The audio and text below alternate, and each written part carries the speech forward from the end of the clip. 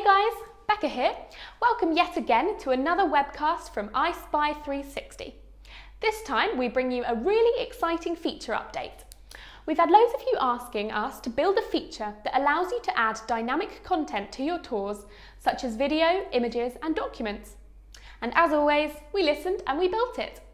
And today we are proud to announce the release of EyeSpy POI.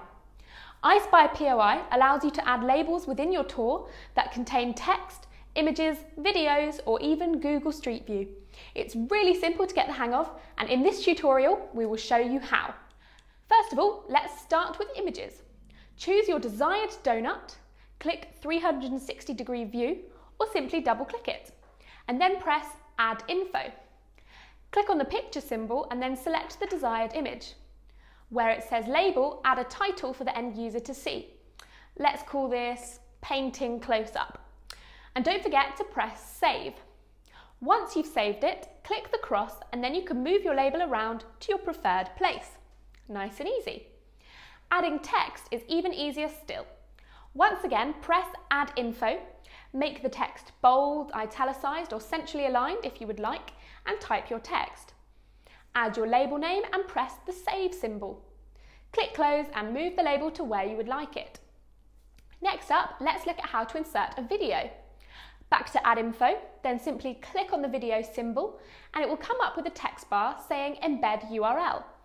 All you need to do here is copy and paste the link, then click Save to add the video.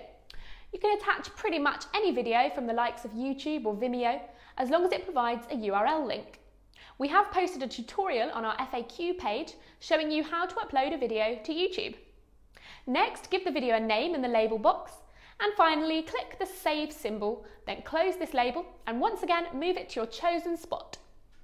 To add a link to another website or file, such as an Adobe PDF document, go to Add Info, type in your text such as property details, then highlight the words and press the link symbol. Copy and paste the URL and press Save. Now your text should appear blue and underlined. Click the Save symbol and close this label, moving it to where you want it. Finally, to add Google Street View to your tour, simply click Add Info and press the little man symbol. Then go to your property on Google Maps and press Share. When you do this, you are given the option to Share Link or Embed Map. Now we want to embed the map, so we click on this and then copy the iframe embed code.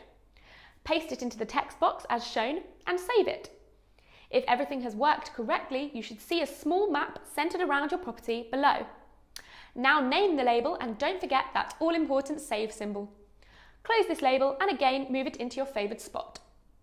And don't forget you can add multiple pieces of content in the same info box. If, for example, you wanted to show a picture with some history or information that surrounds it in text.